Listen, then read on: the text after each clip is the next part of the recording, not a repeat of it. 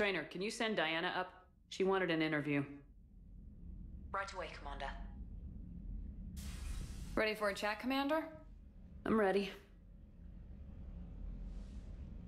Commander, it's no secret that Council Space has suffered some serious losses to the Reapers lately. Now Cerberus has struck directly at the seat of our government. If something as small as a human terrorist organization can hit the Citadel, is anywhere safe? Cerberus' strength in the coup attempt was their sleeper agents. If those agents had been exposed, a lot of lives might have been saved. We need constant vigilance. C-Sec and the troops can't do this alone.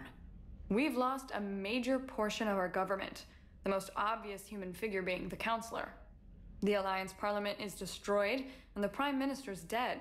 The line of succession is getting pretty short. How long do you expect any new Alliance administration to last? Leaders will rise. You can't lose hope. Our enemies won't rest until they've taken the last human being. Until then, we're not beaten.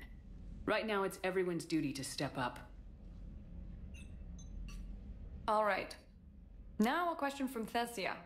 Commander, during your tribunal, some said you had Cerberus ties. Thanks for your time, Commander. This is Diana Allers for Battlespace. Good night, and stay strong. Be careful, Commander. You keep feeding me like this, and I'll follow you home. Looks like you already have. What happens now? You gave me a good interview, Commander. That's all I need. Tonight.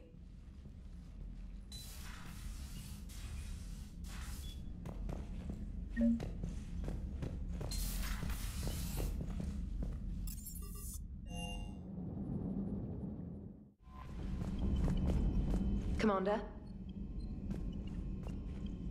Commander?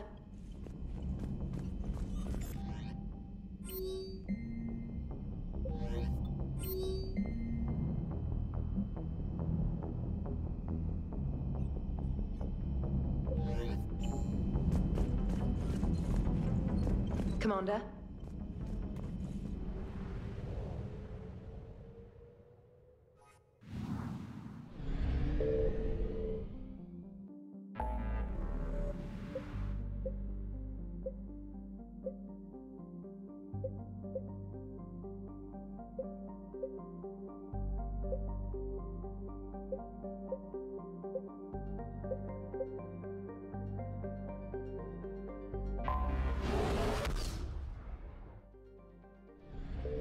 I found something.